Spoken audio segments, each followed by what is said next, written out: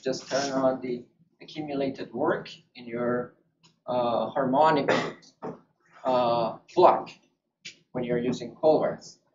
And then you can try different ideas, different collective variables, maybe even different force constants. And um, you can look at the work and compare them. If you are getting lower work values, that's probably a good sign. It means that you're doing better. Your collective variable is probably a better collective variable. As long as you get what you expect to get. So if the transition that you are interested in doesn't happen, it's not a good sign anymore. So you can have a zero force constant, which will give you a zero work, but it wouldn't actually result in a transition. So that's not what you want. So you want to have the lowest amount of work as long as the transition that you're interested in actually takes place. So you have these two criteria. The transition should happen, and the end state should be what you expect. The intermediates also should not be crazy states. Like you shouldn't you should not have uh, weird things happening to your protein, like some helix com completely unwinds. That's not a good sign. Uh, if you are interested in just large scale conformational changes of uh, protein. There, there could be sometimes unwinding of a little helix involved in the process, but uh, that might make it a little more difficult to study. So we are focusing more on uh, conformational changes that do not require much secondary structural changes, because once you open that Pandora's box, it's just going to be a lot more difficult to deal with your conformational change when there are also secondary structural changes involved. So um, non-equilibrium work pro provides some way of judging whether you are doing better or worse in optimizing your pulling protocol. And once you have a reasonable pulling protocol that can generate a pathway which um, qualitatively agrees with what you expect from a transition for your particular system, and also doesn't require over a thousand kcal per mole of work. So if you run a simulation, non-equilibrium simulation, and the non-equilibrium work is 1,000 kcal per mole, it's not a good sign for your uh, future steps. It means once you are going to do, for instance, um, free energy calculations, uh, you're not going to get a lot of exchanges between your windows, for instance, or uh, your simulations are going to converge very slowly.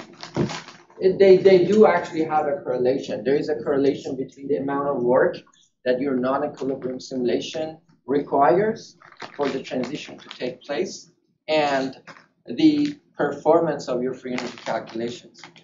And uh, this is uh, something that has been shown for examples.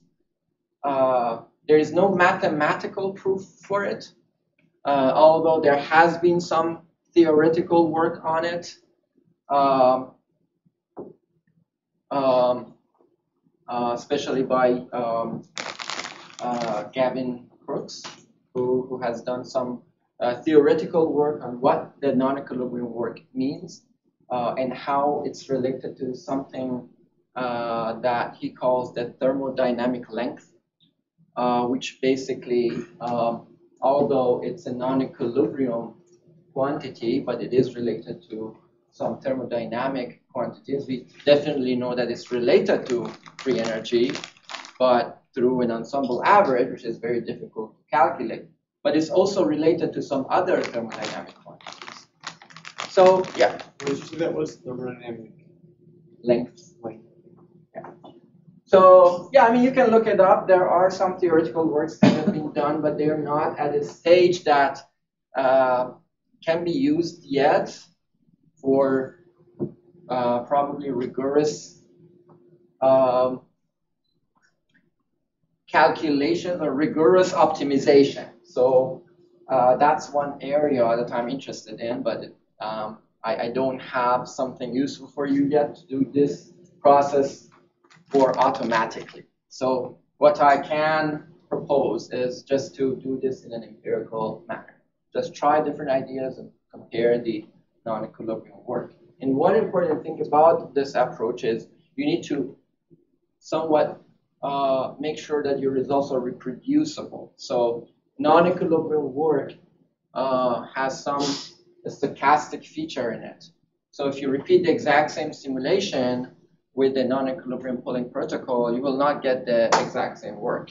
You will get a different work. And there is a variation in the amount of work. And you can only uh, compare different protocols and different pathways when reproducibly you see a different uh, behavior in the amount of work. And if you do see that, if you repeat your simulation a couple of times and always see that one protocol gives you higher work than the other, it's probably uh, something that you can uh, use to distinguish between those pathways qualitative. Um, okay, so I'm going to talk about these things within the context of an example, and this is the glycerol 3-phosphate transporter, which uh, is basically another transporter of major facilitative family. So it looks very much like the uh, proton-coupled uh, oligopeptide transporter that I showed before. Structurally, it looks almost identical to it. It's basically 12 helices, two six helix bundles, and undergoes rocker switch type movement for its transition and, and transports phosphates. So in physiological conditions, it uses the uh, gradient of the inorganic phosphate, the green things here, um, which basically uh, bind from the cytoplasmic site and go to the um, periplasmic site, and what they do, they, they basically trigger this conformational change. So the protein uh, sits in the inward facing state. That's the resting state of the protein. Uh, and it doesn't undergo the transition un unless the phosphate uh, goes and binds and triggers the conformational change. And at that point, the glycerol 3 phosphate, an organic phosphate, can come and bind to the protein, and that also will trigger the conformational change and will go to the other side. This way, the established gradient of the phosphate, uh, inorganic phosphate, will provide the energy for the uh, transport of the organic phosphate against its concentration gradient. So it's, it's, a secondary transporter. It uses the established gradient of one substrate or more than one sometimes to move or to transport uh, the uh, another substrate against its concentration gradient. Um, so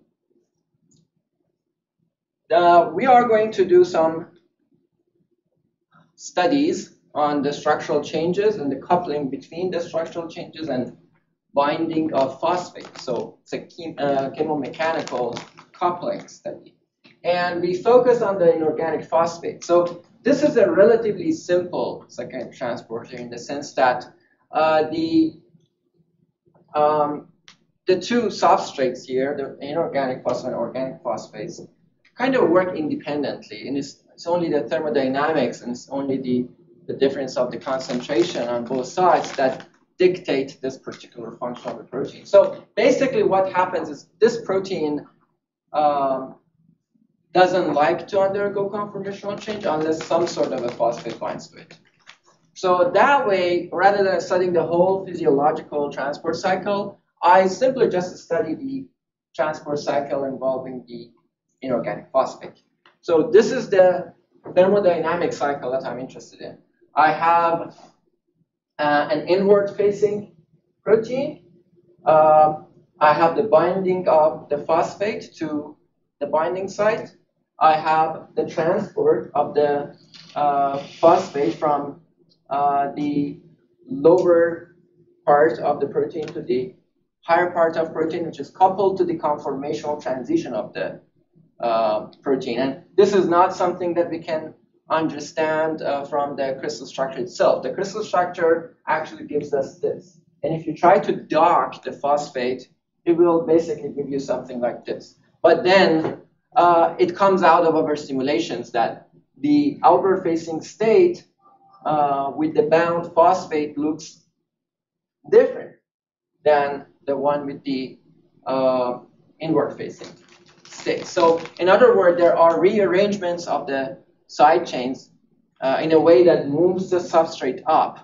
And the outward facing bound state of the protein uh, has a different binding conformation than the inward facing bound state of the protein. So these are not the sort of things that you can actually understand just based on the crystal structure or based on equilibrium simulations of the crystal structure.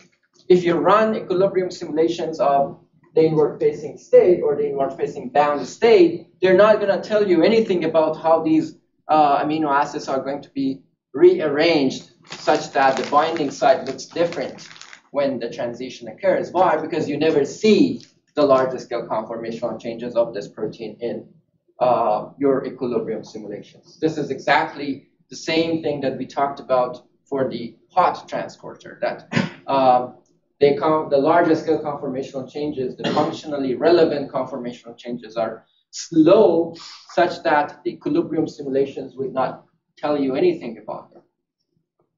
Okay, and then finally, we have the unbinding of the uh, phosphate. So people just, yeah. Has anybody drawn very long simulations like Anton type simulations, equilibrium of this? For this particular protein? No. I, I don't think that anyone has run uh, any simulations to see the full transition of a transporter. Uh, uh, we, we have run uh, simulations on Anton uh, for uh, other types of transporters to see parts of this process, but not all of it. So the whole thing is very, very slow, especially these two are very, very slow, where you have the global conformational change. So you may see, if you if you run these simulations on Anton, you may see occlusion of the binding site, uh, or you may see fluctuations of the gate, but you won't see uh, one gate to close and the other gate to open. Like this is really uh, a very, very large free energy barrier for transporters, usually uh, 8 kcal per mole or higher. So this is not something that uh, you can actually observe uh, within sub millisecond simulations.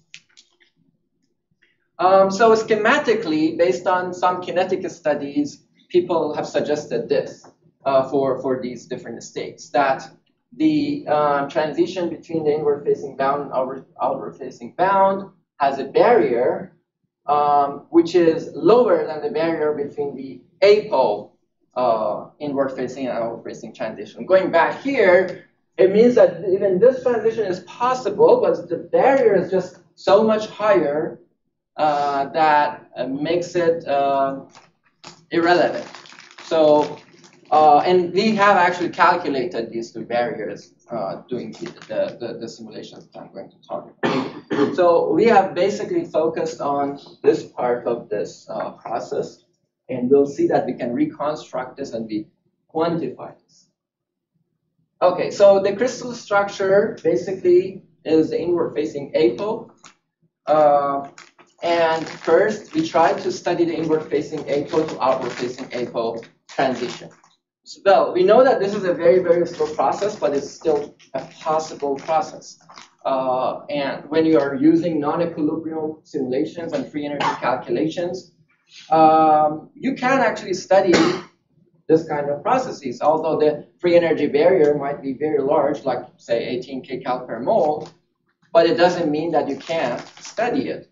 So when you are using this kind of uh, approach, um, when a process, when a transition, when a, the, when a free energy barrier is 18 kcal per mole, it's not necessarily more difficult to study than when it's 8 kcal per mole. What makes things more difficult is when you have more um, couplings involved, more collective variables, more orthogonal degrees of freedom that are involved in the process and are uh, coupled to each other. For instance, in this case, it turns out that this process, which is physiologically slower, uh, easier to uh, easier than this other uh, process to study.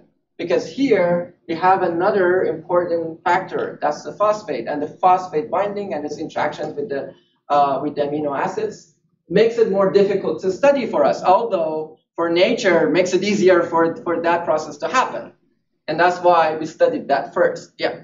How do you know you got the correct outward facing uh, conformation? How did you know when you were at the lowest energy one? Uh, we'll get there. So uh, I'm gonna actually uh, just use the same um, ideas I talked about, about the stability and about the water profile and the non-equilibrium work and things like that to uh, judge whether we have something reasonable or not. So we can't ever say we have the answer, but we can say whether it's at least reasonable within our understanding or not.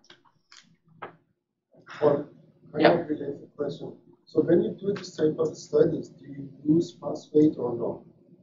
Uh, well, uh, since I'm going to study the whole process, I am going to use phosphate. But the first step that I, I approached this problem didn't involve phosphate. But later on, I eh, included that as well. To induce the change. Right. So if you want to study this whole process, of course, you do need to have phosphate. If you want to just do the uh, this part of the cycle, which is the uh, irrelevant part of it, because uh, physiologically, what we are interested in is this: the transition mediated by the phosphate. The other one is a very, very slow process that we basically have put there just for a point of reference.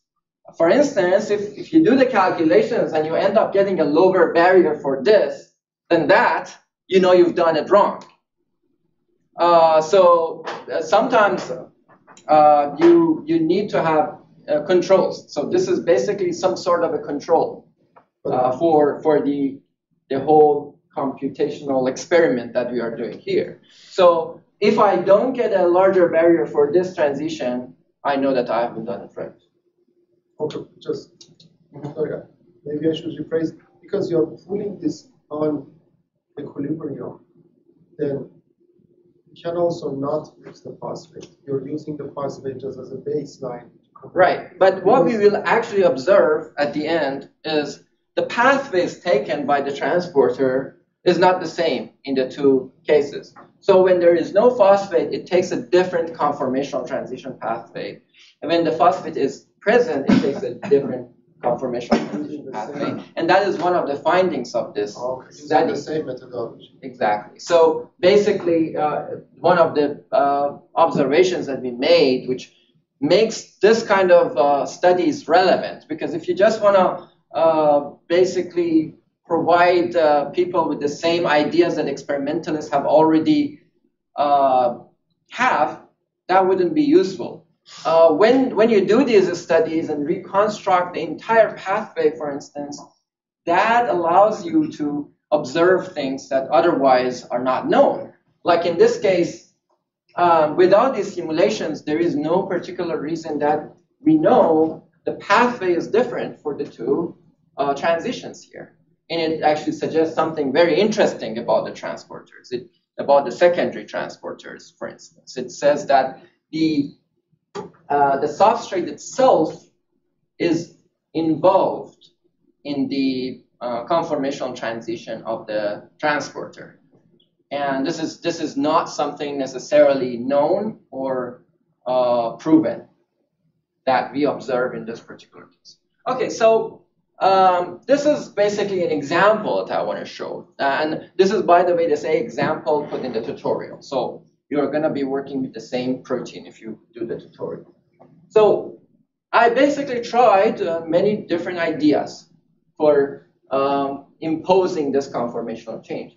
I had only one crystal structure, and the good thing about this approach is, uh, unlike some of the other approaches, like for instance TMD, uh, you don't necessarily have to have a second state for the simulations. You need to have ideas about the other state.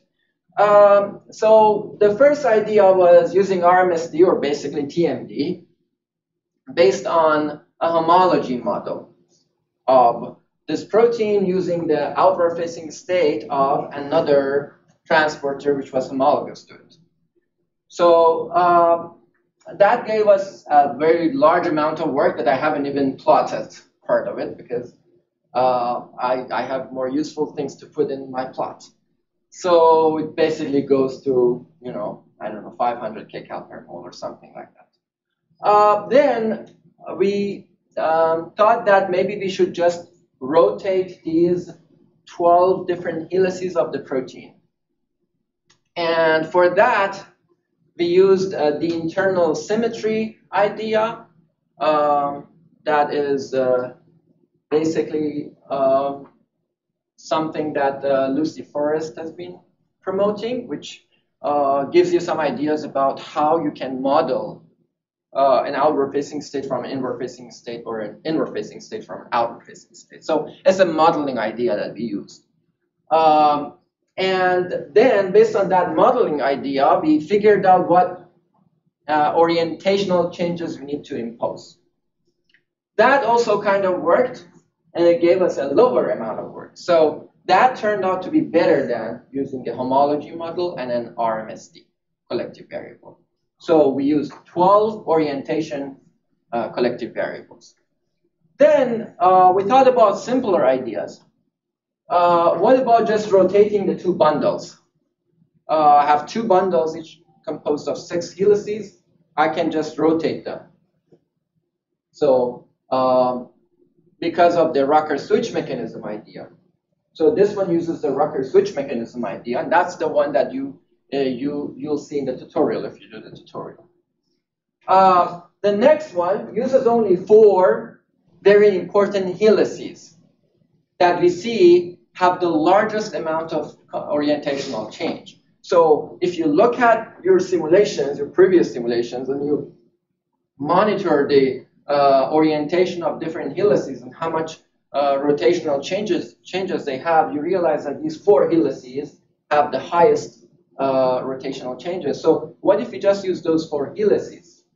So we kind of are going towards a more minimalistic uh, approach for imposing this because you don't want to make this too complicated, especially if you are going to do uh, non-equilibrium pulling. For instance, one of the issues we had here for using all 12 helices was how do you uh, combine them? Like, uh, do you change all of these linearly? Like, um, is the timing the same for all 12?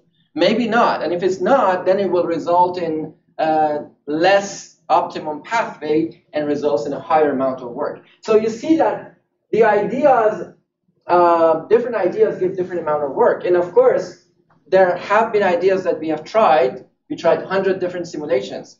Uh, and uh, some of them gave higher amounts of work. So basically, uh, using different ideas could give you a higher or lower amount of work. And you do this until you reach to a point which uh, uh, is uh, requiring the least amount of work while still um, having the transition taking place. So in this case, the last idea that we tried was rotating only two helices helix 1 and helix 7. And it seemed to be working. So we actually could get the transition happening, and I will tell you why uh, I, I think the transition is happening. But uh, we got the transition happening, the same kind of transition, by only rotating two helices. And it required the least amount of work, only 40 kcal per mole. And you can imagine that you could use any of these collective variables to do free energy calculations or string method uh, path finding algorithms. But the better pathway you use, the closer pathway you use to the correct pathway, you have a higher chance of converging faster and doing the job basically with a um, smaller amount of computational cost. So these things are not very computationally expensive. They are more um, basically uh, labor intensive. So you, you need to just spend more time. Now, we didn't actually start with 20 nanoseconds. Uh, initially, we were even using like shorter simulations. So this is more for um, maybe my presentation that I'm showing the 20 nanoseconds one. But sometimes you can actually distinguish between different collective variables even with shorter simulations. If you're just kind of, uh, you want to try to use a high throughput screening for your collective variables, you can even start with five nanosecond simulations to distinguish uh, between different collective variables. Some of them could be bad uh, very uh, clearly, and you don't have to spend too much time on them. Yeah. Practical question. So when you pull on this thing, the membrane, yes? Mm-hmm. What happens to the lipid molecules? Um, well, I mean the uh, the uh, the lipid molecules just move. So in this case, the it's not a very large change to the membrane in this case, and the membrane is large enough. So usually, if, if we want to have uh, this kind of simulations, you need to use a membrane patch which is larger than what you would usually use in a regular equilibrium simulation. Because when you are making this kind of conformational changes, you don't want to distort your uh, membrane too much. Yeah, but the best idea to use would be, especially if you want to do uh, free energy calculations, would be uh, to use a particular uh, a type of boundary conditions for membranes I don't think it's still implemented in NAMD, the P21. Uh, yeah, so that's that would be the way to go because it, it basically allows for the lipids to exchange between the two um, between the Oh, two okay. uh, leaflets. Uh, otherwise, there will be some inaccuracies in the results eventually because uh, Yeah, because you're- yeah, so in this case, we counted the number of lipids in both sides of the membrane. They're, they're almost equal, both in the inward facing and in the outward facing model that we independently generate. So in this case, that wasn't an issue, but in many cases, it could be an issue. Okay, so this was the optimum uh, protocol, and why I think that it does uh, it does um, um, represent the outward facing state because if you look at the water profile, uh, you start with the inward facing state, which is the red one here. So you have a closed, this is the number of water molecules basically along the Z. So you see that not, not many water is here, and then a lot of water is here in the, in, uh, in the cytoplasmic site. And then during the transition, you never have actually a lot of water molecules on both sides, which, which is a good sign. It means that it, it, does not contradict the alternating access mechanism. Uh, if you end up with an open channel, you have waters all over, that's not a good sign because alternate, alternating access mechanism um, is against that kind of conformation. Um, and then the outward facing state does look like an outward facing state. You have more water molecules on the outside, on the uh, periplasmic side, and then um, the here uh, you don't see many water molecules. And then if you equilibrate the final state, it will stay open and it will still have this water profile. So this is how we can validate that at least our pathway makes some sense. So you may end up, if you use a collective variable that's not appropriate, you may end up with a bad pathway.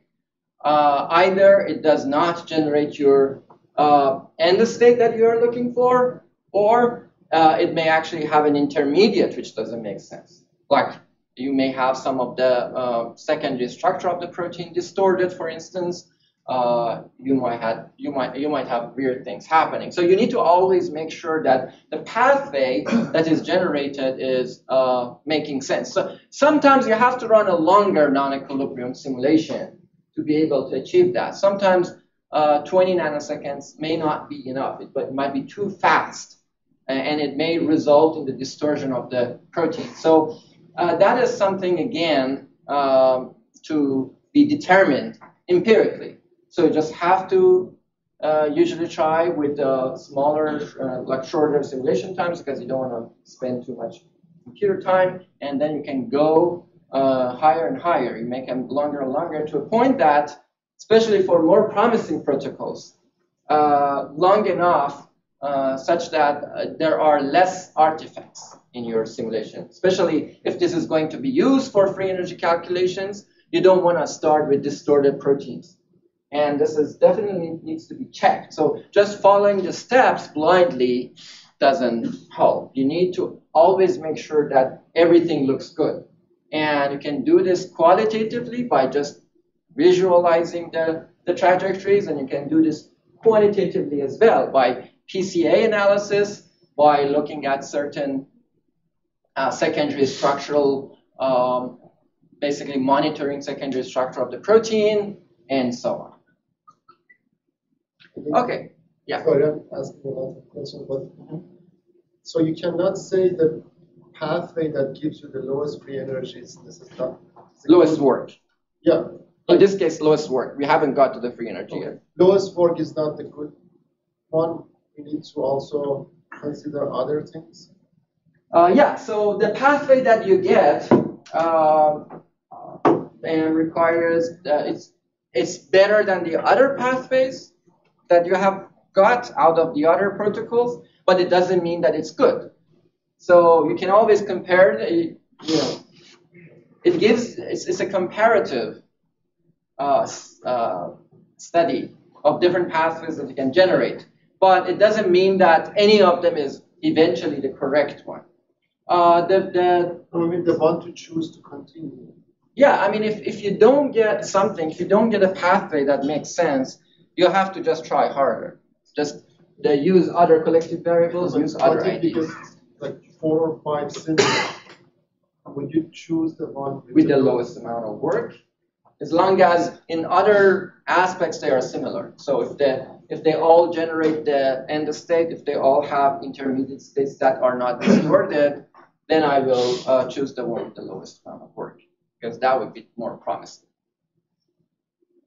Um, there is another example here that I'm gonna uh, talk about because it uh, kind of uh, uh, tells you how you can combine different collective variables uh, and make statements about the transition neuron without running any free energy calculations. Uh, so non-equilibrium work, and th- this is not something that you, you, you have to do. This is not a necessary step of this uh, procedure. This is just an example that I did uh, a while back, it was like five years ago, um, that basically I simply just use non-equilibrium simulations to make uh, uh, statements about different possible pathways. And you'll see that how it works. So this is without free energy calculations, just comparative, uh, just a qualitative comparison of different pathways. So uh, here we have uh, uh, another membrane transporter with three crystal structures. A higher resolution one, which is outward facing, uh, and two, uh, and, uh, and a very low resolution, which is um, basically uh, inward facing, and another uh, lower resolution structure, which is inward facing as well, but it's less open. So this is the same, these are the same things, just rotated uh, to, to see both sides. So these are closed on the uh, periplasmic side and open on the cytoplasmic side, although one is more open than the other. And this is closed on the cytoplasmic side and open on the periplasmic side. So if you run an equilibrium simulation for this protein, uh, at that time we ran for 300 nanoseconds. Uh, we basically, uh, so this is, this is actually something that uh, Jerome was uh, mentioning. You can, if you have multiple collective, uh, multiple crystal structures, you can actually see the values associated with them in different collective variable spaces. In this case, I have three crystal structures, outward facing, inward facing open, and inward facing closed. And if I look at uh, like three different collective variables, alpha uh, is basically the collective variable that um, describes the um, um, the angle between these two bundles. Beta is one that describes the um, angle between these two bundles, and gamma is the one that describes the angle between these two uh, nucleotide binding domains. And then there is also a distance that uh, I used in my calculation. But if you look at uh, these three structures in the alpha beta space, the opening in the uh, periplasmic and cytoplasmic side, you see that they are actually spreading different parts. uh, if you start with an outward-facing state, which is the higher resolution crystal structure, and run 300 nanosecond, you basically don't see any transition happening towards the other states. And this is exactly what I was talking about uh, in the beginning of my uh, morning session, that uh, if you run an equilibrium simulation, it doesn't necessarily tell you anything about the state transition. Um, so uh, this was 300 nanoseconds. Uh, recently, uh, using Anton, we ran, we ran three 2.4 microsecond simulations, three independent sets of 2.4 microsecond simulations of this system in the same environment. Uh, it wasn't the exact same system. It was a, homo a homolog of this protein uh, called SAV1866 in the in, uh, uh, outward-facing state. So it's basically uh, just a very, very similar protein. And we didn't see uh, any of these transitions happening. And it basically behaved the same way even after 2.4 microseconds, repeated three times. So you shouldn't expect equilibrium simulations to work for uh, some of these systems because just uh, they are associated with uh, very, very large time scales. So what we tried to do was we tried to use these different collective variables to push the system in different orders. And this, this was coming from some ideas, again, that people had suggested based on some experimental data and so on.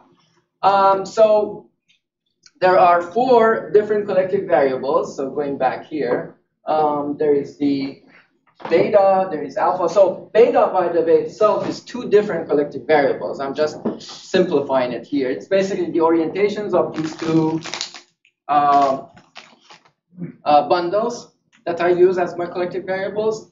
Beta just gives you kind of the uh, the, the angle between them for uh, simplifying my presentations, uh, reducing the dimensionality. But what I used in the simulations for pulling was the orientations of these two bundles of helices. Um, so beta, alpha, gamma, which is the nucleotide binding domains, and the distance between the nucleotide binding domains, which is different here and here. So the distance between these two domains is also another collective variable you can use. So you can actually try different ideas to go from the inward facing to the outward, uh, in this case, the outward facing to the inward facing. And you see different trials using these collective variables in different orders.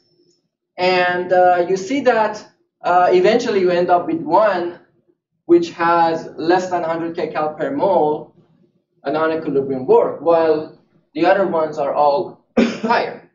So this would be um, the more uh, promising pathway to start your free energy calculations but if you want to.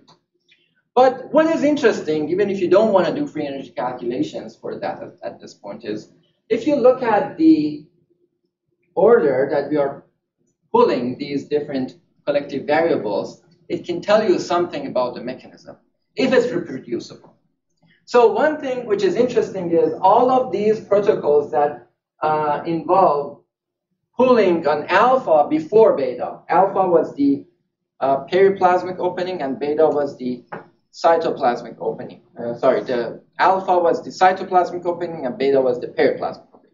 So if you open the uh, cytoplasmic side before the periplasmic side, uh, before you close the periplasmic side, um, this requires a lot of work. So this is directly related to the alternating access mechanism. So the alternating access mechanism tells you that you need to close this before you open this. This is basically the literal meaning of the alternating access mechanism. You cannot open this before you have closed this. Otherwise, you will have both sides accessible to uh, the substrate. So what we, we are seeing here is actually the direct result of the alternating access mechanism that whenever that we try to pull alpha before beta, we try to open the periplasmic side, uh, sorry, the cytoplasmic side before closing this periplasmic side, we need a lot of work.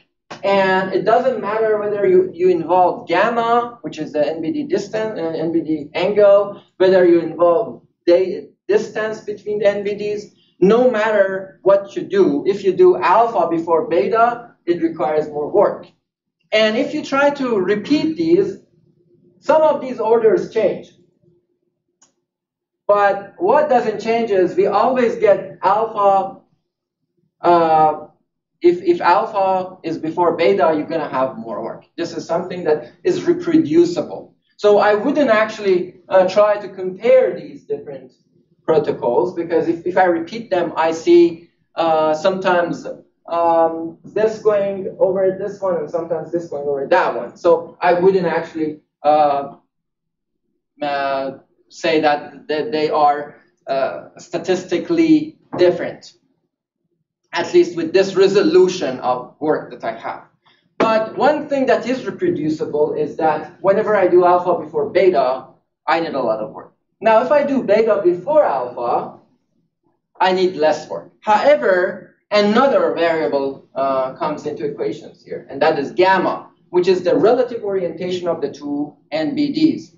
I actually find out that if I don't um, I don't change the orientation of the NBDs, um, I, uh, I wouldn't be able to do uh, the, the transition uh, in a reasonable way. So whenever that I do beta and gamma in whatever order before alpha, so it means that I close the side, the, the periplasmic side, I rotate the NBDs, then it makes it easy to open the cytoplasmic side. So uh, this is only meaningful, of course, if you repeat this in your results. Some of it might be reproducible, some of it may not be reproducible. So there is a resolution for this kind of uh, comparisons that you need to consider.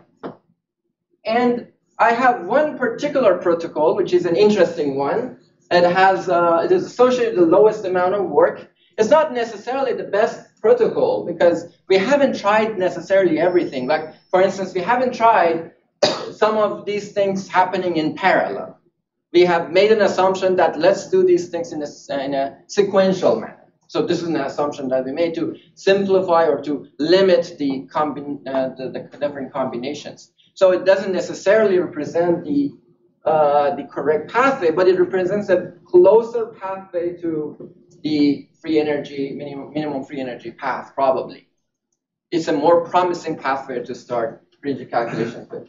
And it involves then um, a, a, few different steps that I, am going to show you in uh, this movie. So it involves some opening of these first, and then the closing of the periplasmic site, and then the twisting of the NBDs, and finally the opening of the cytoplasmic site.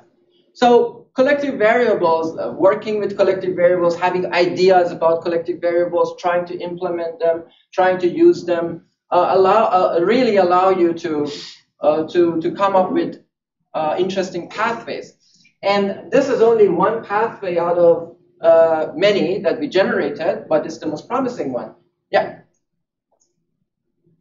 How can you be sure? I mean, mm-hmm. I know it's already published, but how can you be sure of the causality relationship between motion and the timeline of this motion? Is there like a, we have like a safeguard to say, well, this is the correct chronology uh, not at all. I mean, I'm, I'm actually not sure that they should be in a sequential manner. They probably happen in a more uh, collective manner, at least some of them. However, if, if you ask me among these different pathways and different ways of doing this, which one is probably better, which one is closer to what happens when you have the holy grail, which is the minimal free energy path, I would say this is probably better because reproducibly, when I repeat this, I see that this is going doing better than the rest of them. Um, and uh, this is this is the, the reason that uh, that I have for this being a more promising pathway to start now more systematic uh, transition path optimizations, like with the string method. and free energy calculations. Yeah. Are you able to make any conclusions about the IF to the OF conformational change because you don't have events like drug binding or ATP binding associated with this? Or are you just assuming that it's the reverse process?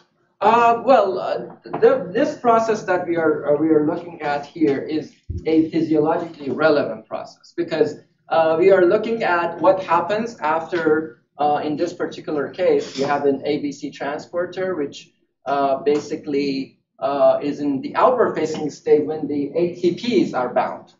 Now, at some point, ATPs hydrolyze and ADPs leave, and then there is a downhill uh, conformational change happening that it goes back to this resting state. So the resting state for this uh, protein would be the inward facing open state. Not necessarily this, this much open, it may be less open than that, but that's the, um, the resting state for the apoprotein. So here, if the ATPs, so ATPs vary the crystal structure, remove them.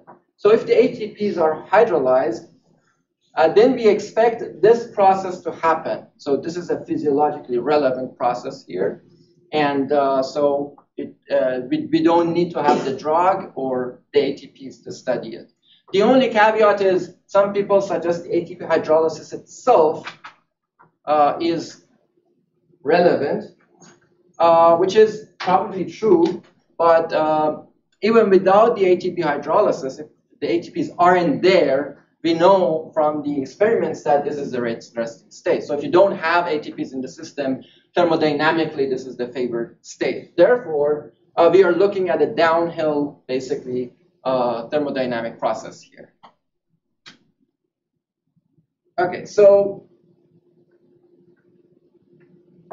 um, so I have a couple of slides here about orientation quaternions, and the reason I have these slides here is just because uh, if you want to do the tutorial, you may want to know just a couple of little things about it.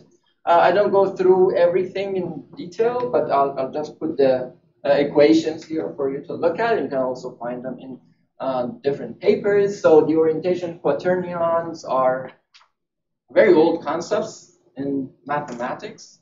Uh, and even uh, the applications of them is well known in different fields, like in computer animation, I know that they are being used. So um, um, I um, I think that um, the, the Kendall paper that uh, Jerome mentioned was probably the, the one that introduced them to uh, protein modeling in the sense that the RMSD can use that, where the, the fitting in the RMSD, and then uh, I believe probably uh, your, your paper is probably the first paper that uses them as collective variables, correct?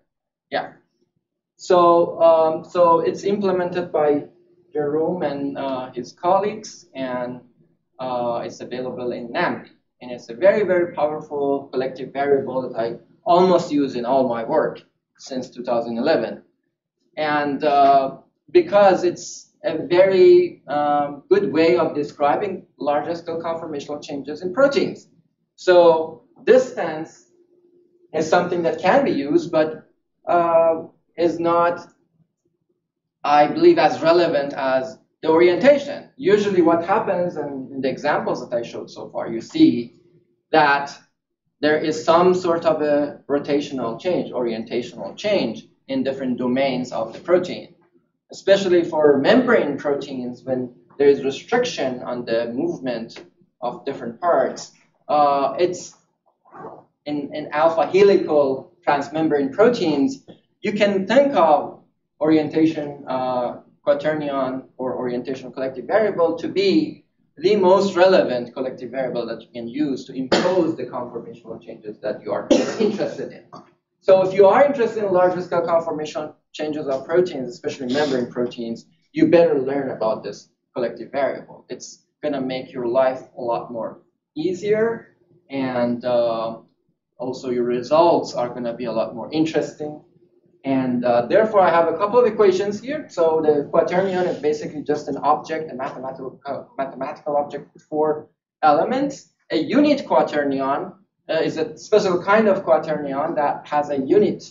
Uh, it's basically just like a unit vector where the sum of the uh, square of individual elements is equal to 1. So it's a unit quaternion. An orientation quaternion is a unit quaternion uh, that is used for basically uh, finding the best rigid body rotation between two sets of coordinates. So when you have two sets of coordinates and you want to align them, uh, there are two elements to this alignment. One is the translational one, which is easily uh, found by just calculating the distance between, uh, or the vector between the center of masses.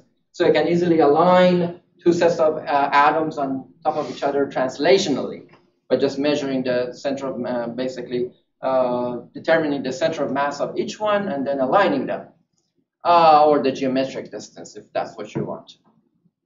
Um, the next would be the rotational alignment, finding the best rotation that fits them on top of each other. And uh, orientation quaternion is one method for doing that, is a rigorous mathematical method to do that. So if, if one set is the uh, n different atoms, each one has a position of xk, uh, you want to rotate xk to align it with yk, um, you want to find a quaternion that in um, this formula uh, gives you the minimum value uh, for the difference of the rotated coordinates uh, minus the reference coordinates. Uh, and you want to minimize basically the sum of the square value of those uh, or the ensemble average or the average of those. So basically all oops.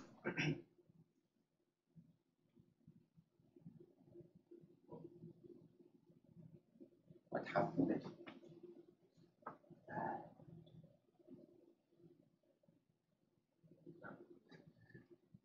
It's freaking out.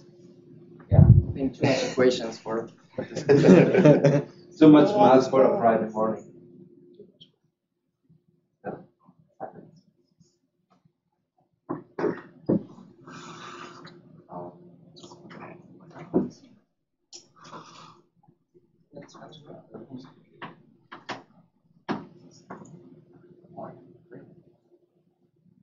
Questions so far. Uh, yeah, I have Yeah. one question. So if you don't have like a second state, like Mhm. you were saying that you can you can still do. Yeah. Uh, so how do you know like when do you converge to like So, uh, well, the, the examples I showed, one of the examples I showed was exactly that. So I only had one crystal structure. Uh, I, I used some ideas for the second structure, like homology models or some other ideas. But then, uh, once you do the transition, basically do the pulling, and you end up with a state, you can always equilibrate it and see whether it goes back or it finds some some minimum to do. May not always work.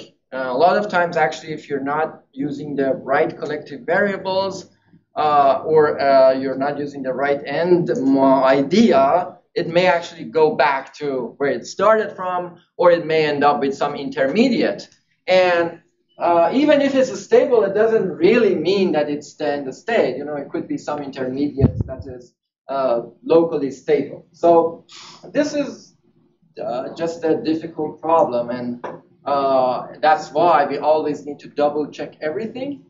And uh, it's mainly about um, making sure that when we move to the next stage, uh, we have examined everything that we can about the relevance of our system. And then once we go to the next step, we may still find out at the end that something went wrong. And I will have a comment about that. And I have actually a, a script which is useful for recovering your data and using them for uh, better iterations of, of your system uh, or of your sample.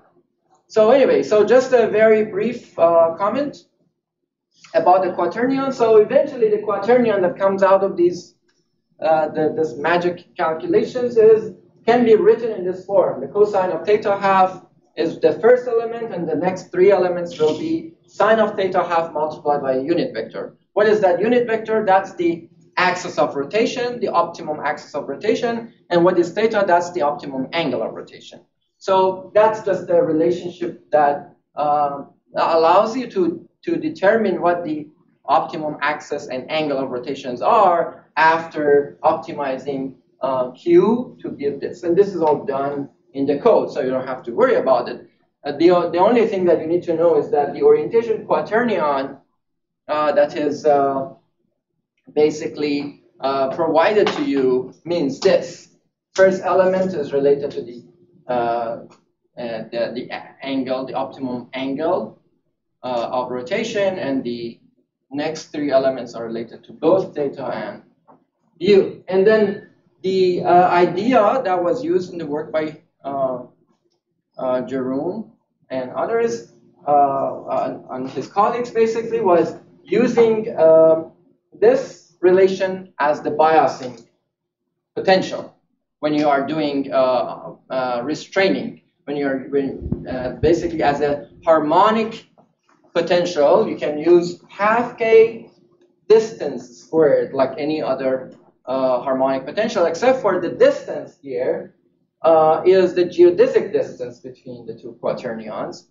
And uh, that is approximated by the dot product of the two quaternions. So it's an approximation for the geodesic distance of two quaternions. And that's a nice thing about it because it has this approximation. And uh, what are the two quaternions here? One would be the orientation quaternion of your current system based on some reference. So when you are using quaternions and quaternion related collective variables, you should always have a reference, similar to RMSD calculations that always is defined based on a reference. Then that's one of the things that you determine. It could be your initial conformation, it could be your final conformation, it could be anything that you want, but usually one of the two uh, is, uh, is a good option. And this uh, tells you basically how uh, much your uh, current conformation is deviated from the reference conformation. So if you're in the middle of the transition, for instance, how much that is deviated from the original conformation, in what directions. All of that is in the quaternion embedded. And then this Q here, the other quaternion here is your uh, current center of the harmonic potential that you're using. So you're basically trying to restrain your harmonic potential at that particular time, or if you are doing umbrella sampling uh, in general, to be close to a particular quaternion, which could be somewhere halfway uh, through in your transition, or when you are getting closer to your uh, to your to, to the end state, it would be uh, the quaternion associated with the end state. So there are examples of, of these things, um, both when your reference structure is the first uh, conformation and your when your reference structure is your last conformation or your target conformation. I have examples of both in the tutorial that uh, allows you to kind of get an understanding of what these things mean. Uh, there are uh, easier collective variables related to quaternion, like spin angle and tilt angle and, and so on, that allow you, uh, they, they allow you to uh, kind of uh, get around learning all the math. So you can use those whenever uh, appropriate to do uh, what you want in a much easier way. Um, Quaternion uh, also has some advantages sometimes, which is good is, is a good idea if, if, if, if you are very serious about the simulations that you're doing uh, maybe after you learn how to work with spin angle and tilt angle and things like that at some point to start working with the actual quaternions as well or, or orientation collective variable itself which is that four dimensional object because there are some advantages in using that because it, it basically has all the information that you need in it um, and it's a very, very well-behaved mathematical uh, object. Uh, I have a couple of more slides for people who are interested on how the interpolation is done um, and how the um, work is calculated, for instance. The work, the non-equilibrium work generally is calculated based on the time derivative uh, the partial time derivative of the biasing potential integrated over time. This is the definition of non-group work. And for quaternions, the analytical formula for the, uh, the partial derivative of the non-equilibrium work with this particular uh, interpolation uh, is also given here, just as a reference for people who are interested in the theoretical framework of this. Um, Okay, so finally, uh, I'm going to talk in the last five minutes about combining free energy calculations and pathfinding algorithms. So I'm going to skip uh, some information about transition pathways uh, and, uh, sorry, the, the pathfinding algorithms and free energy calculation methods. Uh, you know these things uh, from the previous talks, hopefully. I'm also going to skip um, the reweighting schemes. So the I, I, have the slides here, and, and you can look at them, but uh, I'm not going to talk about them, that how uh, reweighting is done and why using uh, basically non-parametric, so this is the conventional WHAM, which is basically a parametric reweighting scheme involving the um, histogram, histograms and binning. So uh, you, some of you are probably familiar with this. Uh, the non-parametric uh, reweighting is basically uh, assuming that every uh, conformation that is, that is sampled itself is a state. And you don't have to bin anymore because every single conformation that is sampled is basically a state. It's, you can assume that it, it has a bin of its own. In that case, uh, you can easily do non uh, parametric reweighting, which is exactly like WHAM then. So this scheme, which was uh, proposed in year 2000 by uh, Bartels, uh, is exactly the same as uh, wait, uh, the, the, the, conventional WHAM, except for if you look at the conventional WHAM, it involves a counting of the states in a bin or conformations in a bin. That is just simply one, because every state has its own bin, and you just simply use the conventional WHAM, but define every state as a bin. And he came up with these two relations that you can solve iteratively. Uh, and I have a code for it, which is in the tutorial, and uses this scheme, which is a very simple scheme to find uh, uh, free energies for you.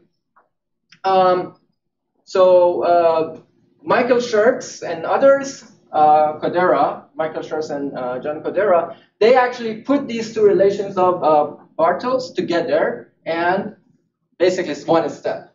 They came up with an, uh, basically a, a, transcendental equation, which you can solve for, uh, in this case, z, uh, which is e to the minus beta f. So you can solve for f or z, uh, and uh, basically um, that gives you the free energy as well. So it's the same idea as Bartels, basically, and it's uh, non-reweighting, uh, sorry, non-parametric reweighting of your data. Um, so the one that I have implemented and is uh, has a code that is used in the tutorial is actually uh, based on the Bartels idea, where you solve these two equations iteratively. Uh, you can also solve this equation uh, iteratively as well for f. Uh, the good thing about it, you can also do, do this afterward. After you find f, you can find the weight for every single conformation uh, using the Shirts and Chodera M bar. Uh, in this approach, it gives you both simultaneously. So at the end of the, uh, when, when it's converged, it gives you the f, which is the free energy, and the weight for every single conformation. And you can use those weights for uh, measuring any ensemble averages. You can measure them to build potential of mean force in any arbitrary collective variable space. Not necessarily it's going to be accurate, but uh, you can do it. And uh, if, if it's not your collective variable used for sampling or not related to the collective variable used sampling, there is no guarantee that uh, it's sampled correctly. Uh, but uh, you can think of it as a blurry picture. If you if you deviate from your your collective variable space, it becomes blurry, blurry, and it fades away. Uh, but it's, it's doable. With, with these weights that you get, and the code gives you all those weights for every single conformation that you have sampled, you can do any ensemble averages. And uh, find out, for instance, what's the average value of that particular dihedral angle along my pathway. Um, so you can also do it without these weights, just using the, uh, the flat uh, weights for all of them, which uh, for certain uh, variables can be approximately correct. Anyway, so for this particular case, uh, we eventually used uh, multiple uh, bias exchange, uh, sorry, multiple string method with swarms of trajectories uh, and multiple bias exchange free energy, bias exchange umbrella sampling simulations to study this wing, this side of the cycle, this side of the cycle. So once you have the outer facing, you can um, study the binding, which is related to what uh, was talking about yesterday. And uh, then you can also study the binding to the inward facing state. Once you have these two states, you can also study the conformational changes between the two. And you can put all of it together. And you can actually run, and this is what we did at the end. We ran one single bias exchange umbrella sampling. First, actually, one single string method with swarms of trajectories uh, simulation. And after that, a single bias exchange umbrella sampling simulating the entire cycle. So that would be basically a closed curve in a high dimensional space of collective variables. And the collective variables here would be the orientation of all these 12 helices. So three independent degrees of freedom for each, 36. And also the uh, position, the z position of the substrate.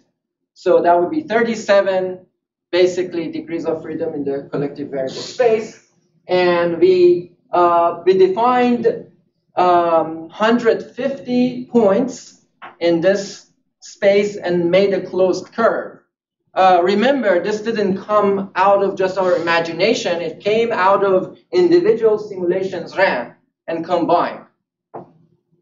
And eventually we ran a single simulation to get the free energies. And the free energies looked like what we were expecting, uh, except for, I mean, uh, the, this was real quantification rather than a schematic. So uh, if you remember, the schematic looked like this.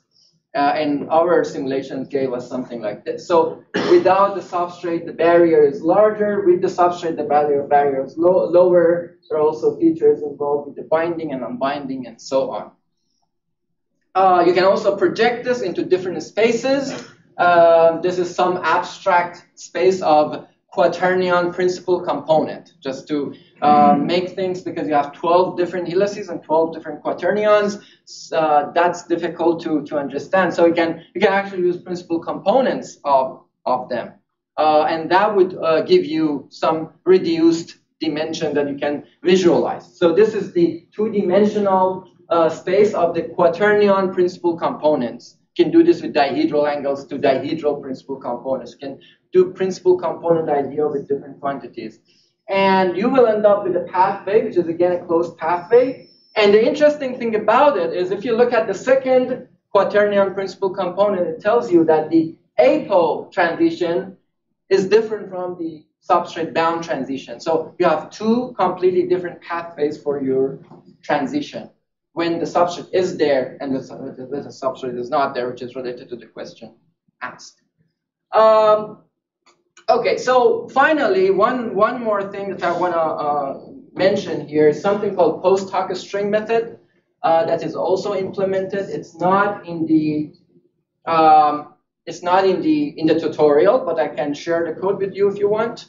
And what it does is, since you have multiple simulations that you run, uh, sometimes, and sometimes they fail. Sometimes they uh, they don't fail, but you want to combine them. Like in this case, we had four different sets of simulations. We want to combine them. Um, this particular code post hoc string method is basically an analysis tool which takes into account all the samples that you have generated somehow. And in a particular collective variable space that you define, you can put anything in there. You can put the principal components, you can put the, uh, orientations, you can put certain dihedral angle uh, side, uh, like dihedral angles of side chains or a backbone or anything that you are interested in, you can put in there, and it will try to generate a, a pathway uh, between the two states that you're interested in that uh, is as continuous as possible. So when you go from one state to the next state, uh, different quantities that you have defined with the, with the um, priority that you have given are as continuous as possible, uh, as similar as possible. And it goes through the pathway. So it's basically a method for combining your data to initiate uh, new simulations. It could be a string method simulation itself. You can basically use that to put your data together and then initiate a string method with swarms of trajectories or you can use for free energy calculation. So this is basically a method which uses the string method idea, by the way. So it's doing, it's finding the principal curve. This is one of the string method ideas, not the string method swarms of trajectories. It basically just looks at all the samples, uh, uses Voronoi tessellation, and then tries to find uh, certain uh, points in the collective variable space, uh, and the, the closest sample to those centers, which are uh, ensemble averages.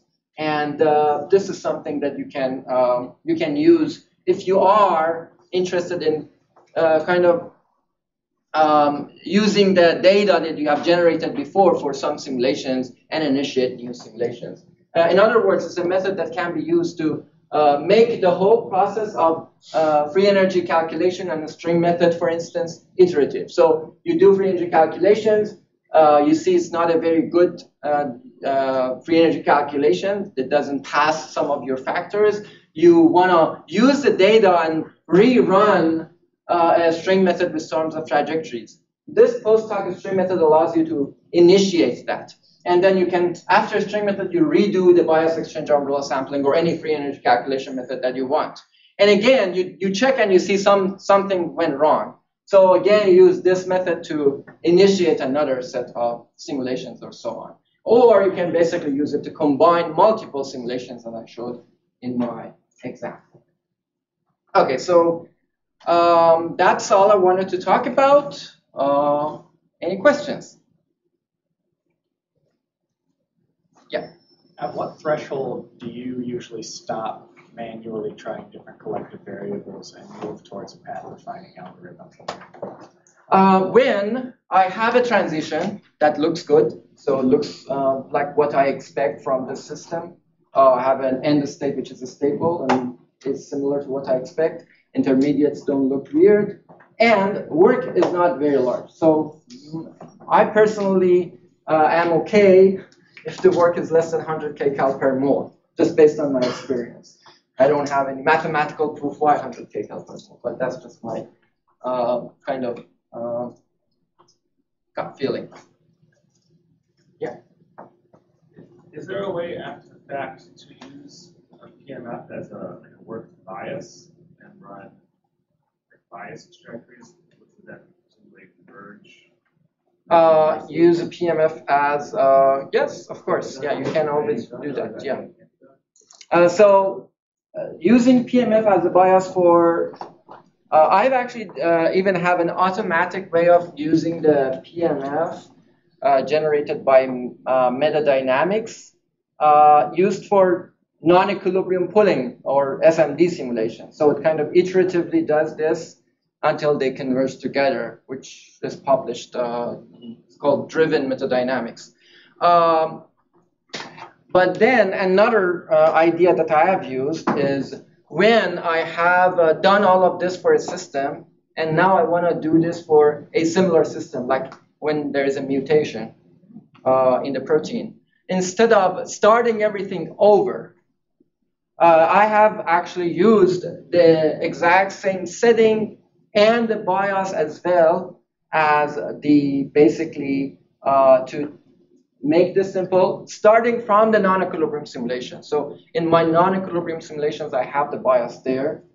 Uh, and then from there, uh, you know, I, I expect still to have non-equilibrium work. That's the dissipative part, part, part of it, plus the uh, some free energy differences. And then from there, you can uh, continue keeping that bias there in, in, the rest of the simulations just to make things faster.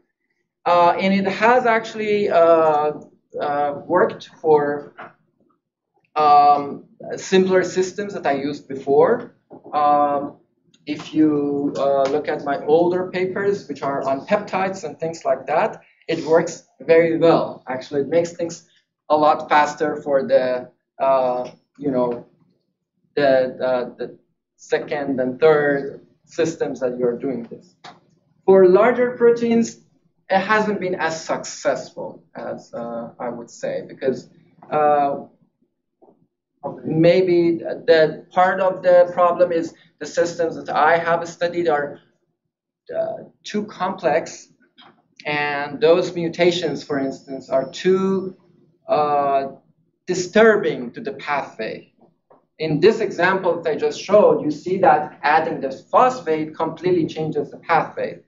So the bias used based on the APO transition would do no good to my simulations because it's just not uh, relevant for the pathway relevant to the phosphate bound transition.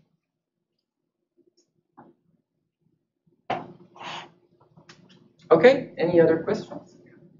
How big were your peptides for that? That it didn't work? Uh, those are proteins that it didn't work. So the peptides, yeah, yeah it did work. Like usually, how many rounds of this kind of analysis do you do? Like, uh, well, I mean, it's completely dependent on the problem that you're interested in uh, and the collective variables that you are using. So one of the ideas that uh, you should consider if something fails is adding collective variables into the equation. Like, for instance, if you don't see the dihedral angle being sampled correctly and it's discontinuous, you can add that in as a collective variable to make sure that it's sampled correctly. So uh, it all depends on how you treat your, the problem. If you're going to repeat this exactly the same way, it's not going to work.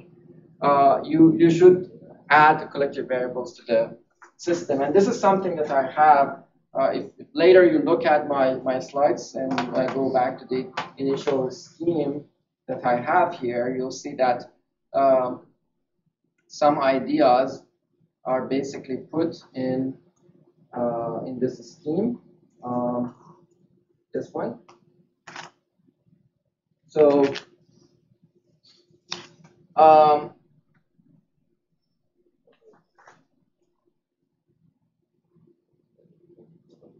probably um, yeah. So it's, it's not in this scheme.